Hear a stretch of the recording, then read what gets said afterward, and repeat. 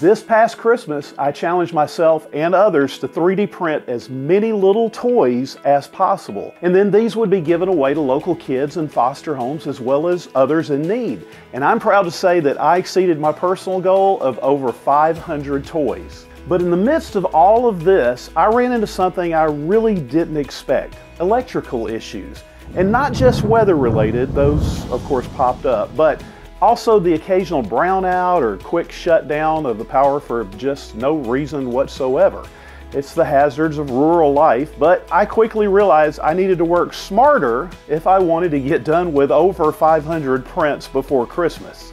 You've got to work smarter, lad, not harder. So I decided to start printing sequentially. Now sequential printing, that's not some newfangled part of slicers. It's been around for a good long time and it's in practically every slicer program out there. And it works basically just how it sounds. You put multiple prints on your build plate and they print one at a time sequentially until each one finishes before moving on to the next one. Now, don't get me wrong, this isn't something you're going to want to use all the time, if at all.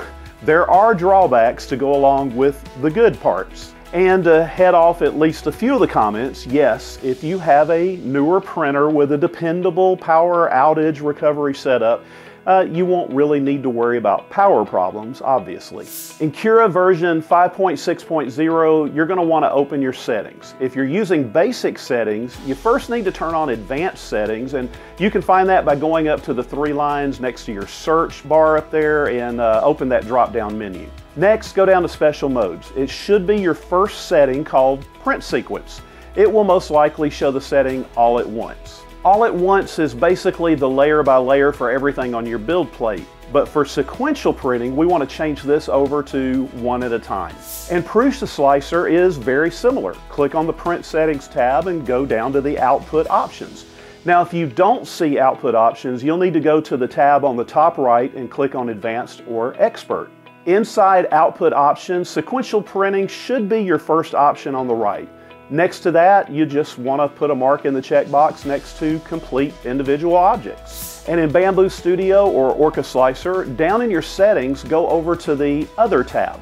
Scroll down to the last section called Special Mode. The first option is print sequence, and you just change that to by object and you're set.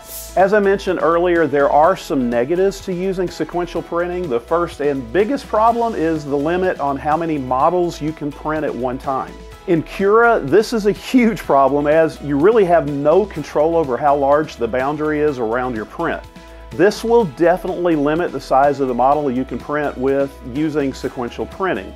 Even my large format longer LK5 Pro can only handle one of these helicopters without shrinking it down to about 50%. And Cura's Arrange All Models feature was very unhelpful.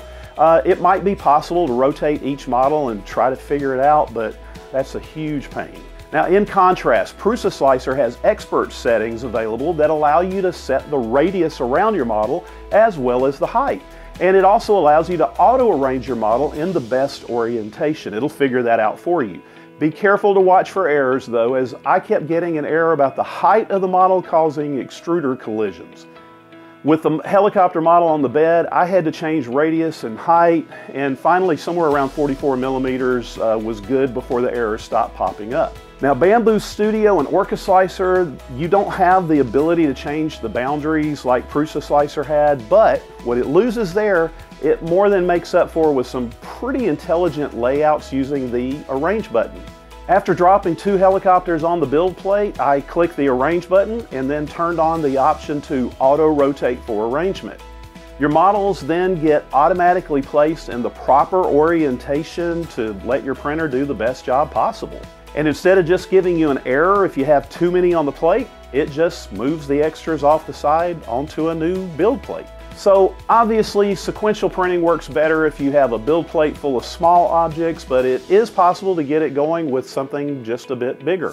I'm sure that I probably missed a number of pros and cons to sequential printing that you've probably thought of. If you did, let us know in the comments so that we can all share in that knowledge as we all continue to learn, create, and amaze.